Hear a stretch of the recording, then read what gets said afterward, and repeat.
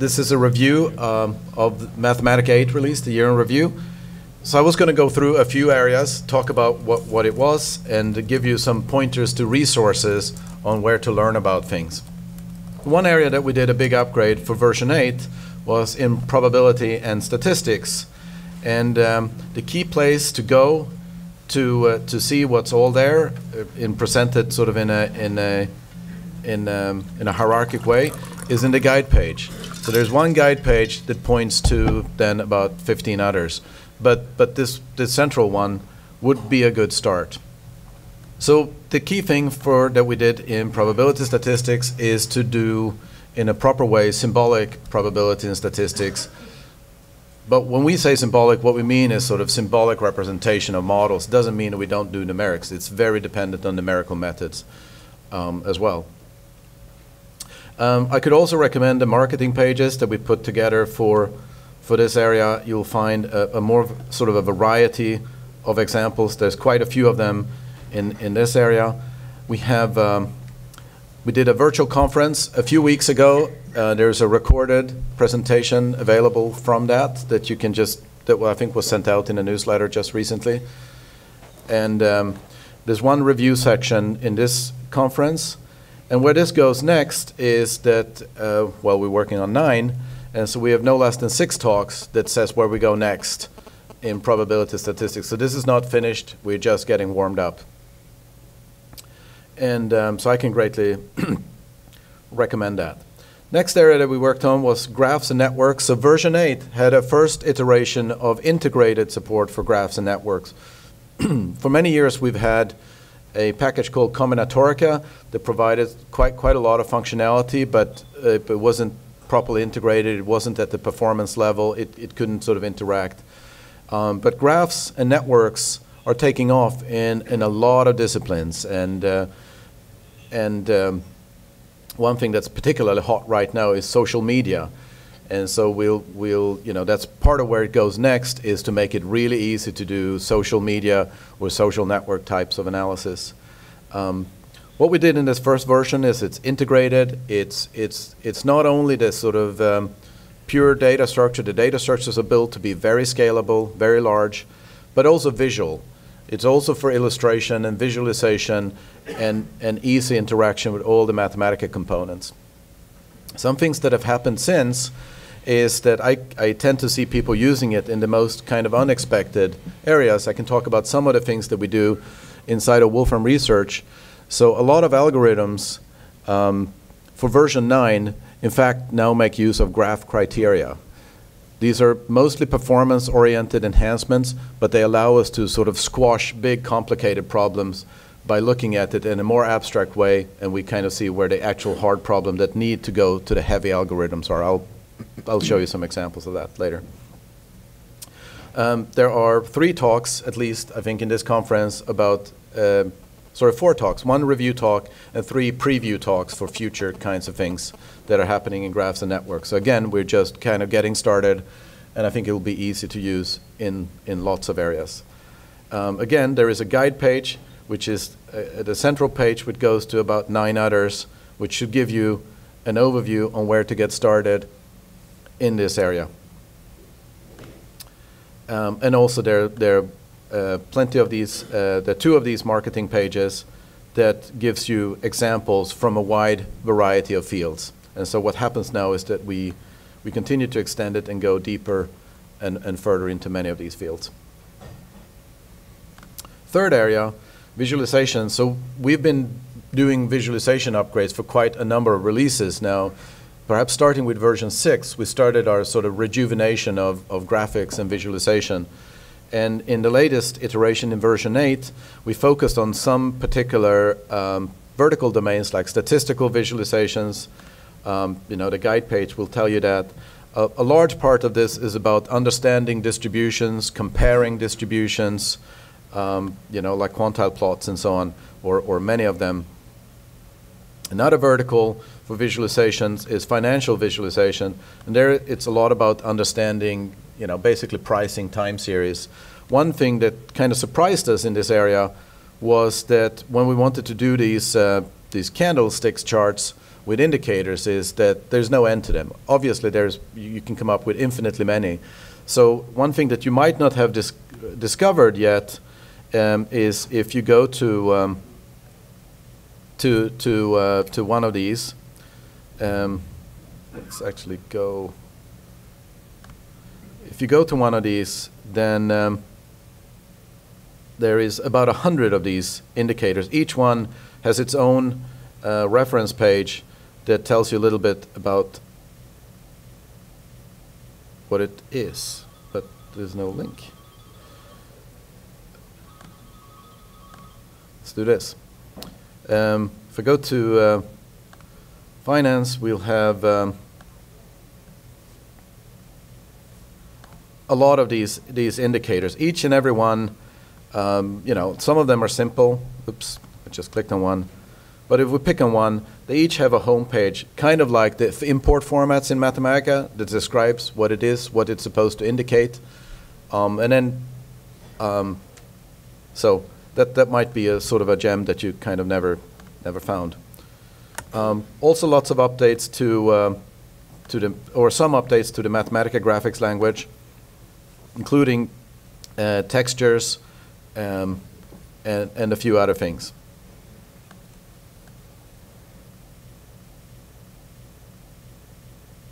Next area, wavelet analysis. So I would say, I think what we've done in wavelet analysis, again, there's a guide page that tells you the whole story. Um, there's also a seminar. Um, I think what we've done in wavelet analysis is to is is to make it readily available. Um, and it's it's generalized in various ways. It works in any number of dimensions. It works directly on sound. It works directly on images. So you can do wavelet analysis on an image directly or a, a sampled sound. Um, it, it allows you to sort of actually explore. It's one of those things which you've all heard of, you might not have had a reason to use. Wavelets are particularly efficient for things like detecting spikes, um, you know, or, or things when frequency varies. So Fourier analysis works best when things are just static you know, that that's the same thing doesn't change. Wavelets are, are very, you know, capable of dealing with sort of varying frequency content, so you have to vary your filter. And so, so lots of things that can come out of that, and uh, it's just there. Final area is, I'm sorry, not final area, but uh, we, we always improve core algorithms, obviously. When we build new areas, we stress areas ourselves to, to, to the breaking point, pretty much, uh, which is good. I love that. That means that we can then strengthen those areas, but you guys do too. So there's a steady flow of things coming in, and there are new ideas. And so um, if, we, if we look around, this, this crazy function here, um, that's a function that you can just numerically now integrate without a hiccup. It will just automatically do all the breakdowns, uh, you know, recognize the singularities and, and do the right thing. Um, so if we, um, if we look at one of these, I'll just talk about some, some area here. So there's a brand new solve. Solve is actually rewritten from the ground up. Maybe you didn't notice. That's the point of having this abstract specification of Mathematica. Your code, sort of, for the most part, just keeps working. The methods change. Uh, so the big news for, for solve is that it takes domains. You can solve over reals or integers, um, and you can use inequalities. Um, most of you shouldn't have noticed, except it became stronger and faster. Also, little performance things actually matters. So here's a, you know, so things that you might not use, but this is doing um, integer linear algebra. Most of you are used to floating point, real and complex linear algebra, and that's all extremely fast in Mathematica. But we've now succeeded in making um, exact linear algebra, integer rational linear algebra fast. How does it do it? it decom it it's a very sneaky idea. I'll just tell you this one story. And the sneaky idea is this. Since Intel and all the other hardware developers have spent so much money on building fast floating point, why don't we use it for exact stuff? So you take a big integer. Uh, for double precision floating point, you have 53 bits of mantissa. That's just like any other, you know, number thing. So you chop this integer into little pieces that are about 26 bits long, so you can multiply them together and still fit. So you now end up with lots of matrices, but you can now do floating point linear algebra. And you just fake it, you throw away the exponent. Um, and then, um, you know, when all things come back out, you synthesize them back together again. And that turns out to be faster than just using the actual sort of uh, fast integer algorithms and so on, because the whole chain of hardware and libraries and cache coherence and cache optimizations are so have been so worked on for floating point. So that's an that's an example of, of basically using a hard you know hardware progress. Hopefully you guys didn't notice it just worked better. It's like um, Dow. We don't make uh, we don't make your car. We make your car better, or whatever they say.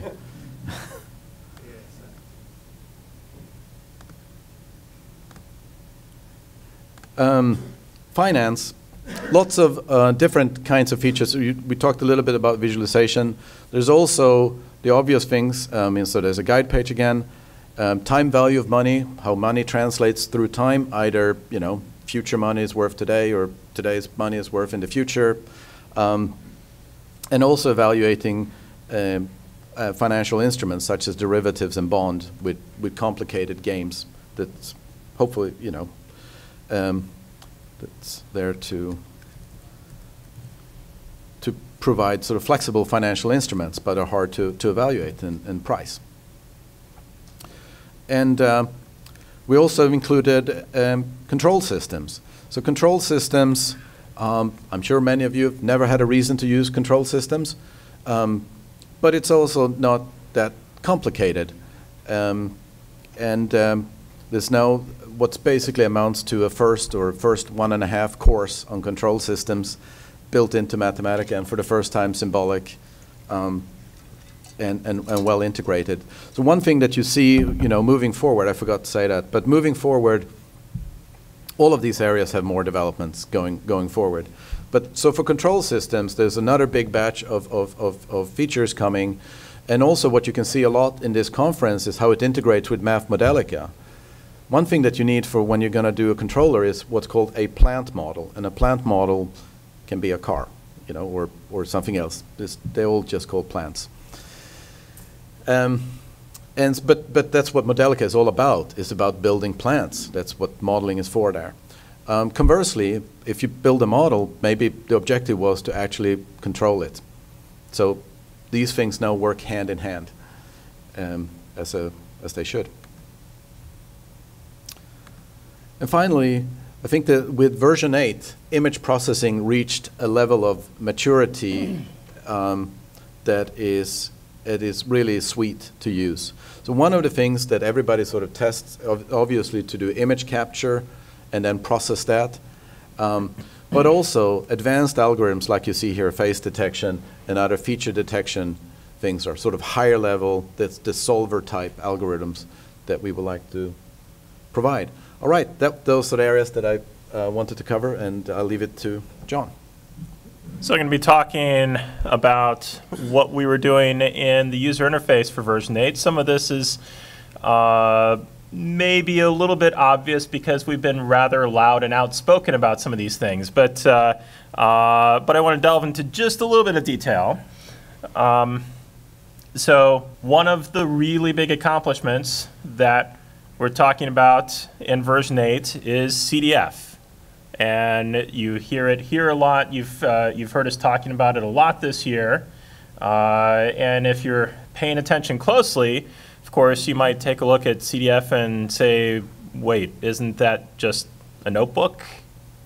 So, yes, when we, uh, uh when we talked about the CDF initiative, uh, part of the thought was it's an easy day at the office for me uh, because we have a lot of stuff in notebooks that really builds on technology that we already had. Uh, and it just, uh, a, a, lot of it was, uh, was stuff that, you know, a lot of core Mathematica people really know about, but uh, we weren't, uh, we weren't kind of pitching in a, in, in a coherent way. so certainly, as you all know, CDF is the, you know, it supports the full breadth of Mathematica evaluation. Uh, and so in terms of, you know, that's the, you know, CDF, co uh, computable document format, um, you know, that's, that's the computable bit. That's, uh, uh, or part of the computable bit. That's really important. Also, CDF notebooks are a highly structured document format. And this makes it very pliable to generation and to manipulation. And if you've never worked with, uh, with a notebook format before, uh, you can read it right into the kernel and do any sort of programmatic manipulation on it that you want. Uh, and this, you know, this is something that internally we do all the time. For example, our uh, our documentation is is authored in such a way that is not the same as what you're seeing in the in the final build. It's authored with all kinds of extra metadata and such, and we run it through a system which takes the notebooks down, the source notebooks, and that we write our documentation and breaks it down, and and builds from that. It builds websites. It builds the uh, uh, the notebooks which are actually used for the built-in documentation. It builds other sorts of information too, like for example, the syntax coloring, which you've come to be used to in the last few versions of Mathematica, actually built from the source uh, documentation for, uh, for all of our functionality. We have a full array of documented functions for creating and manipulated and manipulating notebooks or CDFs or CDFs. Um, and uh, and yeah, so that's uh, you know a lot of this is stuff that's been there already. We've continued to add and enhance to that. So this these were the advantages that we uh, that we brought into the game. Also, documents which are fully interactive in version six. We began with uh, we began with manipulates and moved forward from there. A lot of uh, you know basically erasing the notion that documents are just a static flip, flip, flip, and you're done. Or the documents are something that's rooted on the web and you have to do something with Flash or JavaScript programming or something like that. Uh, that you know this is this is very accessible and very easy to create. doesn't doesn't require a professional software developer to do. But there were some things that were missing. This wasn't just a matter of messaging or packaging or something like that. And, the, and, and these were things that we focused on uh, for, for version 8. So one of the big things is making sure that CDF is accessible everywhere. Of course, it's already accessible in Mathematica. Uh, if you've if you've paid to have Mathematica uh, to get a Mathematica license onto your desktop and you're sitting in front of your desktop, this is all great. Uh, but uh, but if we're going to have a document format that uh, that is going to gain traction. In addition to the natural qualities that it already had, accessibility was, uh, was a big issue. So we want to make sure that anybody can read these things for free. And that's where the Wolfram CDF player came in. We had a player before, it had certain sorts of limitations, and, and the people, uh, you know, in terms of being able to create active content, it was, uh, you know, you could, you could basically talk to us to create active content. That's no longer true. Now you can create active content uh, right in the product. And the, uh, uh, this is something that is, that is there right now in every version 8 that, you, that you're using. You can create a, uh, you know, a document as new CDF or, or actually uh, save a document as CDF. And if you do, it will just work on player. There are still a few limitations, but you get the full breadth of, of interactivity. Of course, you can't just think about the desktop, you have to think about the web as well. And so the web browser plugin is a big key to the initial takeoff of, of the CDF format. And you're seeing this, uh, we're, we're spending a lot of effort uh, being able to, to deliver you know, some of our things, which used to be static, are now more interactive. Stephen has been demonstrating some of them. Uh, live demonstrations, which Stephen didn't demonstrate today, but if you haven't seen, you just go to the dem demonstrations page with, this, with the web browser plugin. uh, installed, and everything just works right there in the web browser plugin. This is, uh, uh, you know, once upon a time where we were using Flash with animations, it was it was all very clunky, and now it's now it's very elegant. One of the big things is not totally obvious in terms of CDF was uh, there were actually some places where we could have even expanded the, the computability a bit more. The, uh, uh, there was this there was this big kind of hole which uh, in, in, the functionality of Mathematica, which came up, well, for those of you on Math Group, it was mentioned on Math Group a number of times over the years. Uh, we pay attention to our users. We pay attention to forums like Math Group, and uh, and we try to respond when we can with, uh, with, with high quality, well designed stuff. And so uh, part of what we shipped in version 8 is Notebook Evaluates. And Notebook Evaluate is it's it's a very kind of interesting function. There's more value to it than than, than you might think at first. I mean, uh, certainly what we can do, and I just have a uh, quick little demo here where I just have a button with a notebook evaluate in it. And it does, you know, the very simple sort of thing of just uh, actually run through and evaluate an entire notebook. As I said earlier, notebooks are being programmatically manipulated. This kind of thing is important. The, but it's not, uh, uh, Notebook Evaluate allows us to actually uh, be able to do some fairly interesting things. In fact, Tom is uh, uh, there's an effort in Tom's group to uh, to kind of work on some report generation kind of stuff, and it's and it's talk about it. uh, oh, there is a talk about Yes, it. talk Yes, about it. and and and the technology is built on top of Notebook Evaluate, uh, and the ability to to go in and actually to actually hit all the pieces in a particular notebook uh, and to get the get the output you're looking at. Notebook Evaluate also allows us to, interestingly, to treat notebooks as packages. Uh, if uh, if you find you like writing your code in notebooks uh, better than you like writing it in packages, uh, the kind of the default mode of Notebook Evaluate is actually to just uh, go ahead and evaluate all the input without necessarily populating the output, but evaluate the input as if it were package code.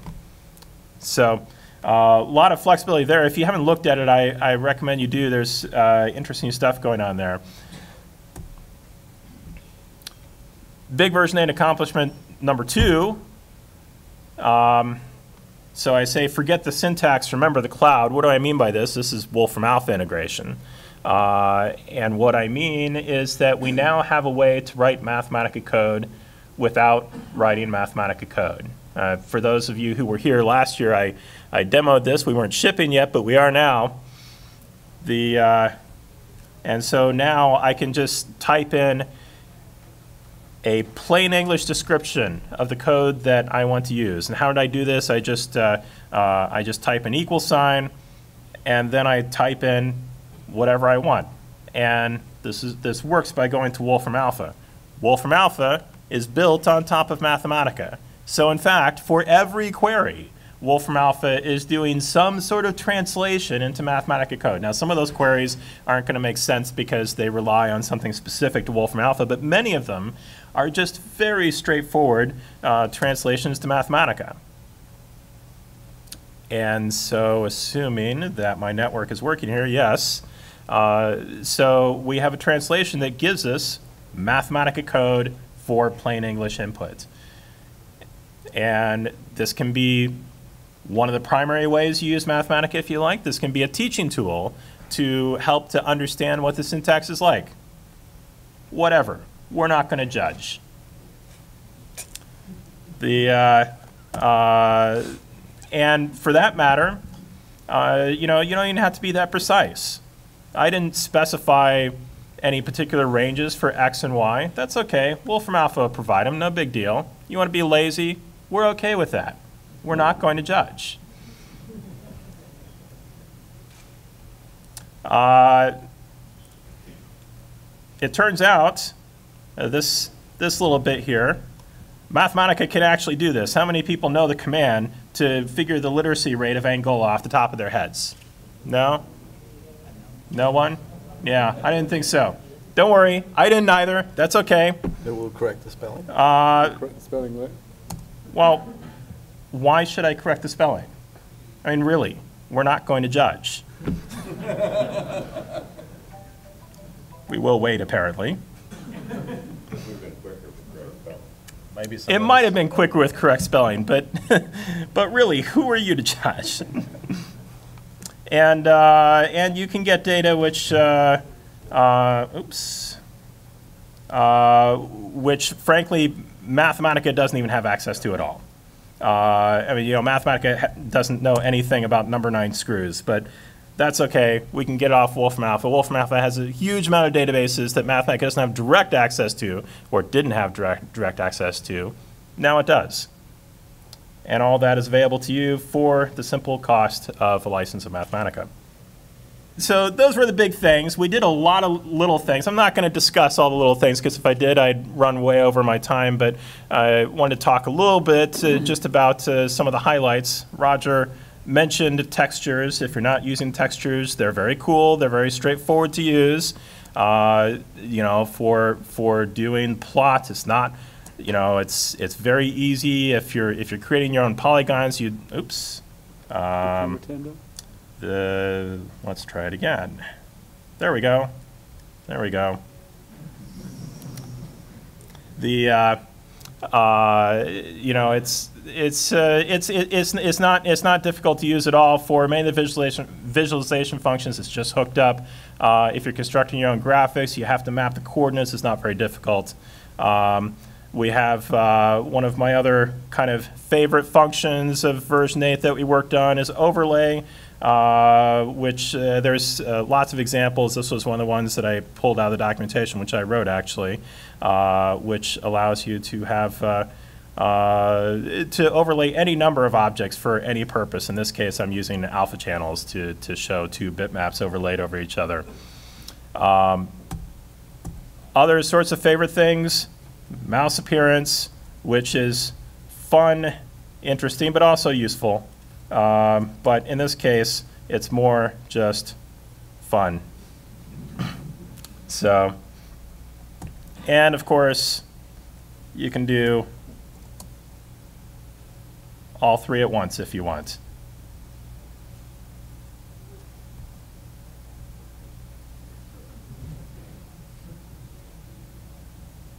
So, that's what I have to say about the user interface.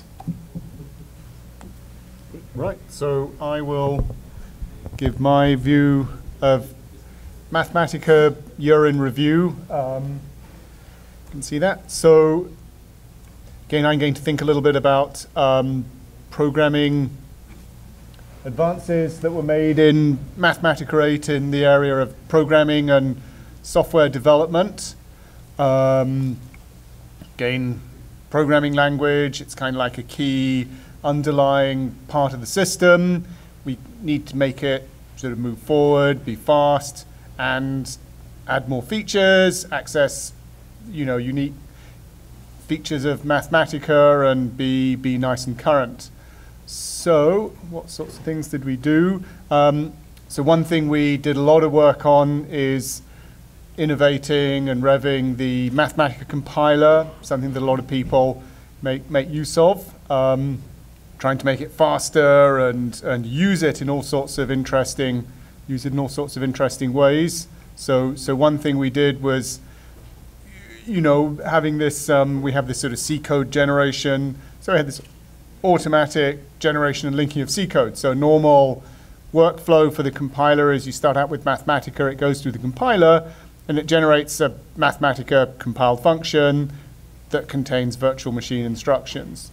So we hooked up this, this sort of interface to it, setting a compilation target, and so now it goes through extra stages of automatically generating C code in a dynamic library that gets loaded into Mathematica. So the code executes at this speed of, uh, speed of Mathematica. And so here, sort of simple little example where you're computing a compiled function, but you set the compilation target goes to C, and then inside the compiled function, you can actually see a reference to a, to a library that's been dynamically generated and loaded into, into Mathematica. So getting a, often getting a pretty significant speed um, improvement.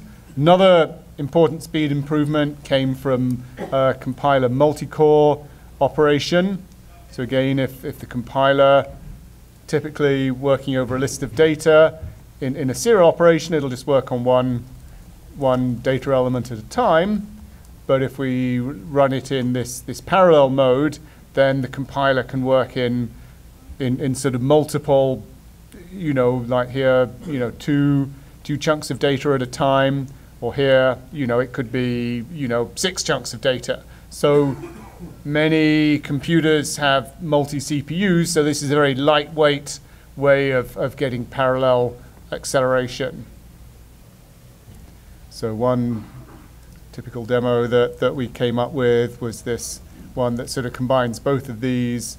And so this is kind of like the sort of ubiquitous sort of fractal thing. But this is as I'm moving the picture around, it's regenerating the entire picture as, as it's moving around. So it's doing quite an intensive computation and it's able to sort of update this and, and, and show this in, in real time.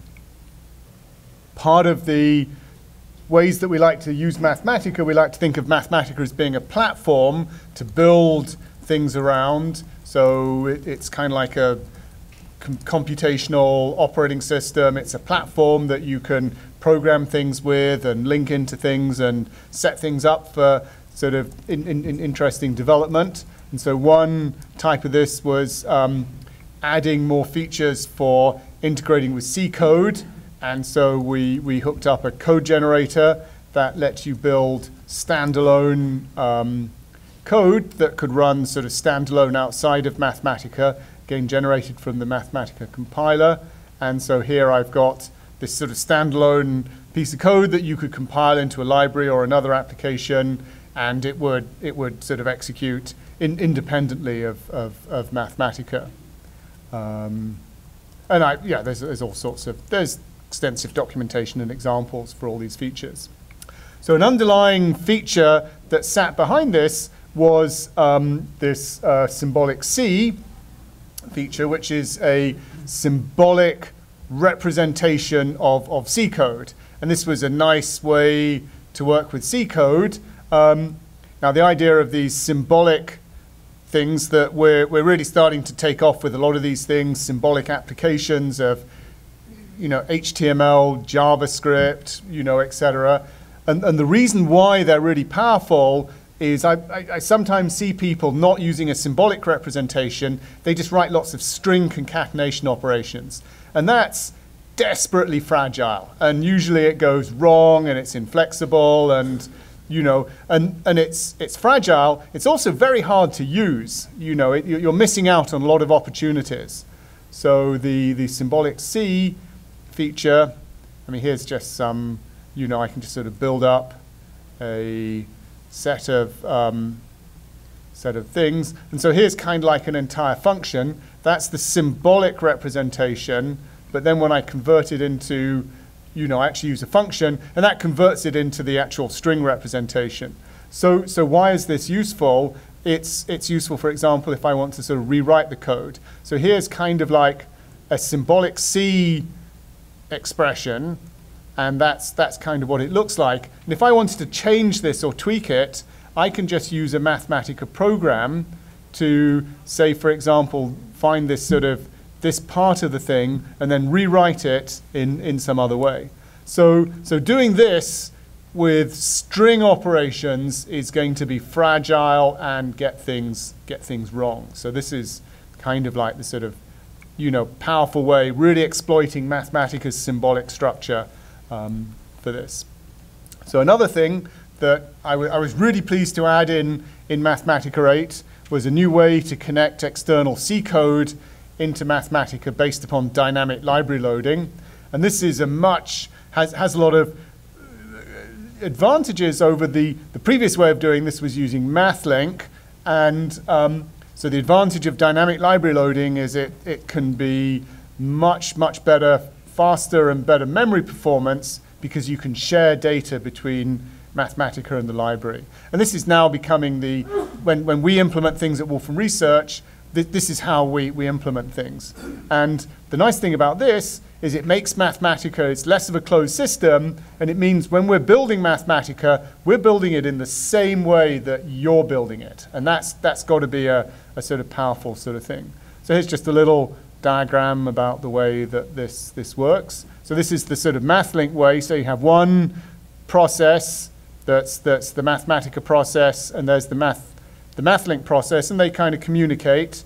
And this is the LibraryLink way of doing things. So the, the actual library is actually in the Mathematica process, and that's why it can sort of share memory.